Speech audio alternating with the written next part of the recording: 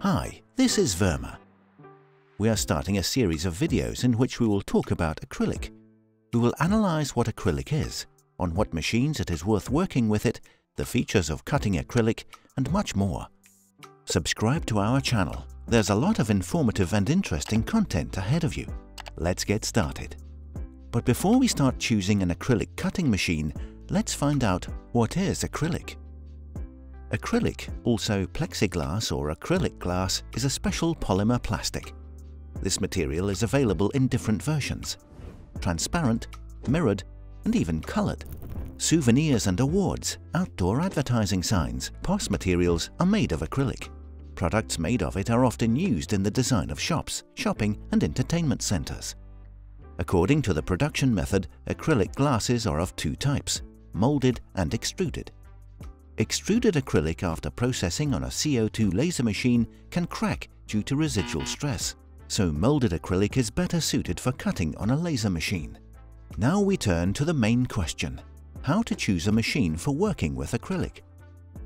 In order to choose the right laser machine, you need to answer the following questions. What should I do on the machine? What kind of product and the approximate volume of products made is planned? What are the main types of materials to be processed? The maximum and minimum size of the workpiece to be processed.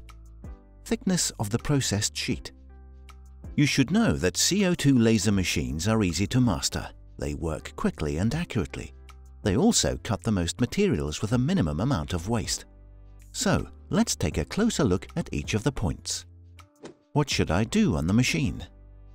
What is the product and the approximate volume of products made? Here, first of all, we need to understand what will be done more often on the machine, cutting or engraving. Their difference is that cutting is burning through the material, and engraving is the fusion of the upper layer of the material. More often, this question is asked by our specialists last, as an auxiliary one, but it is not by chance that we start our video with this question, since it will make it easier to answer the following questions. For example, if your main task is engraving, then you should give up on machines with large working fields, since you will significantly lose in the speed of engraving.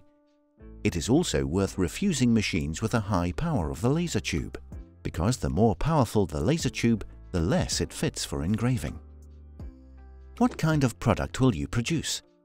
This is an extraordinary broad question, but let's focus on only one criterion, the maximum and minimum size of the product. It is logical to assume that the machine should not be smaller than the product and then be guided by the output. If the machine is purchased for a hobby and the volume of products is not crucial, it is enough to take a machine slightly larger than the product and place the new material in the cutting zone after you have finished working with the previous one. And if the production run is large, it is worth considering machines with large working fields, or consider a two or four-headed laser machine. What are the main types of materials to be processed? Each material has its own specifics of cutting and engraving. Some material needs strong blowing during powerful cutting, and some materials are only spoiled by strong blowing, such as acrylic. Some materials, such as leather, have a strong persistent smell when cutting and engraving, and in this case it is impossible to work without intense smoke extraction or even a filter ventilation unit. Some materials are cut easier, some are more difficult, and some cannot be cut at all on a laser machine.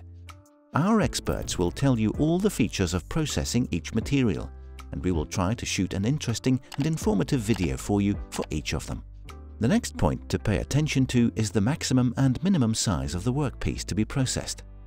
This is one of the main questions asked by our specialists when selecting a laser machine for a client, and the answer to it is not always obvious. Let's look at this issue on the example of plexiglass. The main standard for acrylic size is 2000 by 3000 millimeters, but this does not mean that we need to consider a machine with a working field of 2000 by 3000 millimeters or more. There is always an opportunity to make a preliminary cut to a size convenient for you, focusing either on the size of your products or on the working field of your machine.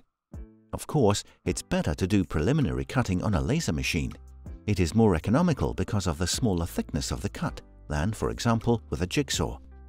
You can also buy acrylic of the right size, but the standards in each country are different and often they depend either on the cutting equipment or on the length measures in your country.